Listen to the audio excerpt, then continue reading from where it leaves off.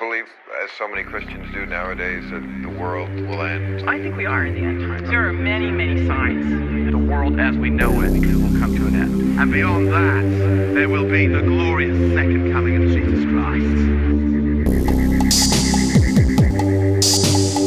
It seems peaceful, but this is the very spot where a lot of Christians believe life on earth will end.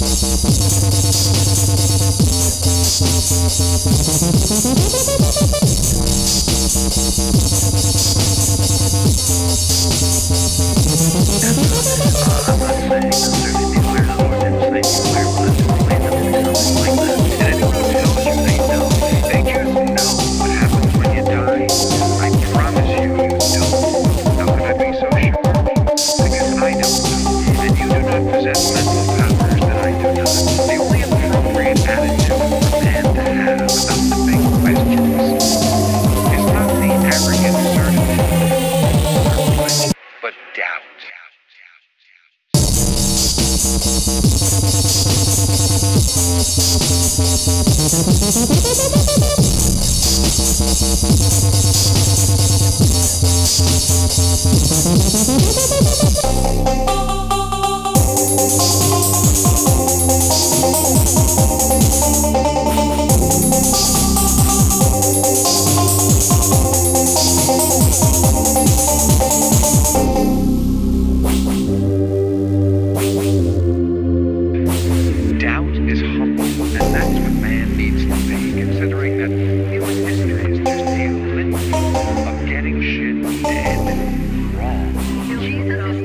is coming back to rescue the Jews because he is the only one that can. believer goes in, in, the paradise, and believer they, they will go to the hell. The Jews are the only reason that I am a Christian. I love them. But you're not going to take them home to heaven with you, are you? I'm gonna go in the rapture and I'm gonna